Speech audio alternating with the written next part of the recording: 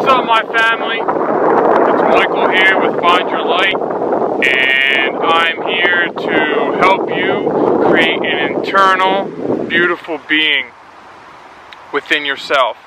We're going to focus on anxiety and depression because these two things are words and disorders within the body and the mind that just seem to just plague the modern day society. But along my journey, I have discovered some truths about these things and discovered some and discovered some things that helped me get to where I'm at from where that I was. So, first I'll uh, give a little um, of my past about what I used to deal with so I can kind of paint a picture for you on what I climbed out of. The, the terms depression and anxiety I'll uh, get into a little more specifically, but generally speaking, you know, I was a man who struggled with both of these things very severely, uh, coming out of a, um, a place of great hostile and violence, uh, such as where I was when I was in the military. Um, uh, you know, I'm a combat veteran, so I had all those side of things to deal with that I don't need to get into specifics but just use your imagination. On top of that, alcoholism was extremely deep within my body and mind, and every cell of my body was screaming and suffering and was self-destructive. I was uh, extremely depressed. I was extremely um, in a total state of anxiety and fear. Um, the world was a very dark place to me. I was within war in here and my external reality was representing what my internal state of being was.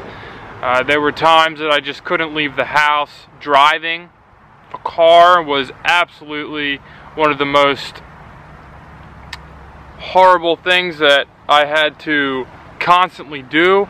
You know, um, a lot of times I couldn't drive into the city, I couldn't drive many different places at one time. Many different times I was on my way to events or places and I just quit, came home, said, nope, not for me, you know, and these were things that would have been good for me. You know, being out in the world, traveling, getting on a plane, all that. So, and not to mention I was extremely sick, the body and the mind and the spirit, just just everything, which one day I'm going to make a testimonial video on all this and like specifics, but so you know what, he, what I was dealing with. So I understand what these words mean uh, to the body and the mind. So depression, start with this. I see all across social media people are dealing with depression and, and things like this. And many of my videos I talk about food and all these things, but I'm not going to focus on that, but I will just state it briefly. So if we have a, a poor diet, if we have poor lifestyle choices, guess what? These things will bring these low vibration disorders to our mind. But that's a whole other thing. I want to talk about a little deeper layer of what depression is. Depression is essentially relating how you view the past. So, your choices up until this point in your life can distort your inner beauty because you feel down about something. Maybe it was a trauma. Maybe it was a lot of choices that were not conducive to, let's say, the better side of life. And you're depressed about these things. They toll. Your, your past is, is weighing a toll on your heart. It's weighing a toll on your mind. And it's bringing you down like a ball and chain. Okay? And then we have anxiety, which is kind of the other end of the stick, because they kind of go hand in hand. Anxiety is the pendulum swinging to the other side of the depressive state of being, which is anxiousness, fear of the future, fear, fear, fear, fear, fear, not feeling in control, which in re reality we are not in control of anyway. So, the fear of not being in control is not understanding what really is. So we have depression and we have anxiety. And then in between these two things, the past and the future, because anxiety mainly is the future, we have the present, which is completely being missed by these state of beings. depression, and anxiousness. We're either living in the past or we're living in the future. We're completely missing life.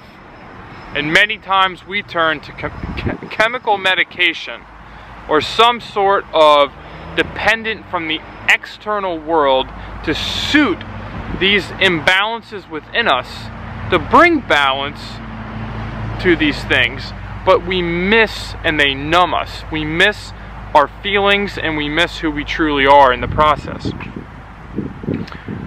So, depression. Both of these conditions, depression and anxiety, are from a lack of understanding. When we start to truly understand life a little deeper, these things will start to dissolve. So the first thing that I recommend doing is to diving deeper into life, seeing what's really out there. Start studying the mind and studying the systems of the body, and you will learn to understand yourself. There will become great releases when these things start to happen. Depression, specifically the past, understanding the past and why you did some things and why some things happened to you and looking at them as lessons instead of things that happened to us will start to ease the depressive state of being because you'll start to feel more in control of your life. When we understand that almost everything that happens to us we have full control over and some people don't like hearing this but we are in total control of our lives. We are co-creative beings. Life is not some thing that we are just attached to when we pray to the heavens every day that something will change if we do not change nothing will change a depressive state of being, an anxious state of being is a sign that we are not in congruent balance with the universe. We are not in congruent balance with our higher self, our purpose for being on this planet. So the first thing that happened to me, because when I started seeking to heal myself from these things. I didn't even know what I was doing. I just knew that I needed something. I went through so much dismembering, but I had an experience that dismantled my ego completely, and it put me into a humble state of being. And what I mean by that is I fell into an understanding that when I when I align myself with not what I think that I want, or that I think what I need, or I live how others tell me to live, or I, or I try to fit in with the modern day society flow of things. But when I got dismantled and my ego was dismantled and I was just lay and I would lay there and I would just say to myself whatever needs to come to me I'm open to change. Everything changed. and I made a lot of changes in my life. So when we finally reach the state, you're like, huh, I've been doing this for so long. I've been doing these things for so long. I've been eating this way. I, I this is right. This is right. Everything that I'm doing is right because I was told this and I went to school for this or whatever is out there when you finally get to the point where like, you know what? Something's not right. I don't know what it is, so I'm just going to start making changes. And pretty soon, you will fall into alignment with the universe, insert name here, God, Spirit, whatever you want to call it, things you will align and you won't need these signals in here depression, anxiety, fear, anger, unknowing. Because the the illusion of control is truly what causes the anxiety. It's not not being in control. It's the illusion. The illusions in life is what cause these imbalances, not the truth. The truth is what will set you free. Because the truth, in a sense, is realizing how much we don't know.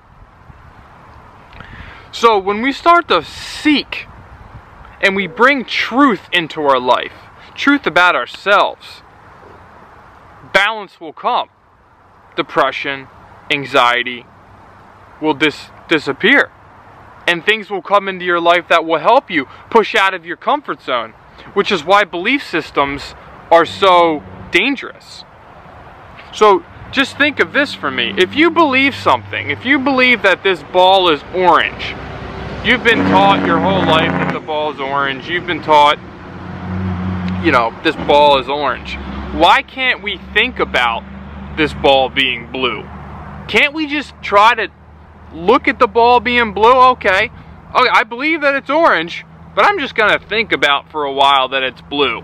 And I'm gonna like act like it's blue for a little bit to see like what it would be like if the ball was blue. But I still believe it's orange. Hey, why can't we do that? Do you know how much better the world would be if we just gave other perspectives a possibility? It doesn't mean that, you know, what you're so concrete about needs to change or it's going to go away. So then it brings you to think, what really is what really is a belief system?